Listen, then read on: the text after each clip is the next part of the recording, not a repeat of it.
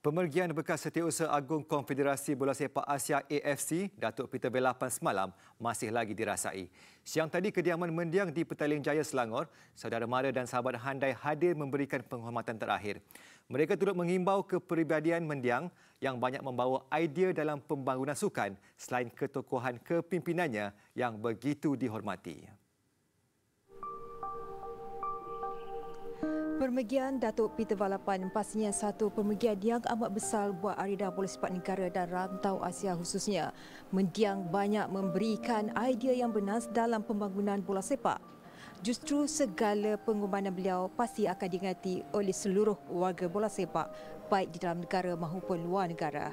Bagi kenalan dan rakan masing-masing ada kenangan tersendiri bersama mendiang Datuk Peter Valapan antaranya bekas kapten hoki pasukan negara yang pernah bersama-sama dengan mendiang ketika di Sukan Olimpik Munich, Jerman 1972.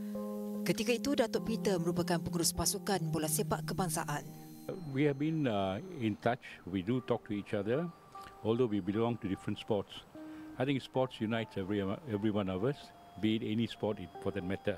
Dalam pada itu, bagi Datuk Dina Rizal, pengurusi Sports Unite, mendiang Datuk Peter merupakan individu yang sentiasa memberikan pandangan dan idea dalam aspek pembangunan sukan di peringkat akar umbi. Antara itu jugalah mendiang turut dikenali sebagai kingmaker. Datuk Peter Peter Balapan has got a very special place in his heart untuk pembangunan lah. Dia selalu tekankan kepentingan akar umbi lah ya. Dan dia pun semua gembira lah tengok apa yang kita buat di Milo. Mendiang juga merupakan bekas penolong setiausaha Persatuan Bola Sepak Malaysia FAM yang genap berusia 83 tahun pada 1 Oktober lepas, meninggalkan isteri, Datin Pavalem dan dua anak perempuan. Dan esok jam 12.30 hari, upacara khas akan diadakan di kediaman mendiang di Kampung Tungku Petaling Jaya sebelum disemadikan jam 2.30 petang.